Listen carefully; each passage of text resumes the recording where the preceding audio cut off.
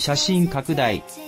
オープン戦、ヤクルト1-10阪神、20日、神宮神宮の空に漂う花粉も、ツバメへの苦手意識も吹き飛ばした。ガツンといった打球が一直線に伸びて中堅へ着弾する。塁に出ようとした結果が、ホームランになってよかったです。対象に力強く貢献し、胸を張った。大山、直前のナバロの、2者連発。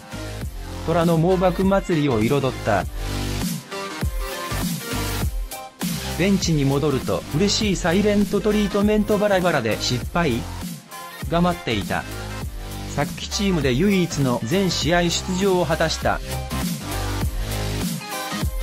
二塁争いの主役と見られていたが、打率1割台と思わぬ不振にあえいだ。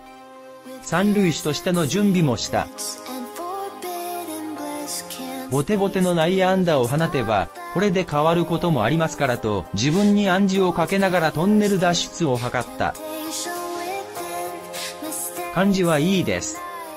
明日からも頑張っていきたいです。開幕二塁は、俺に任せろ。前哨戦で、まさに一発回答。ようやく、糸原らしさが戻ってきた。新里交渉。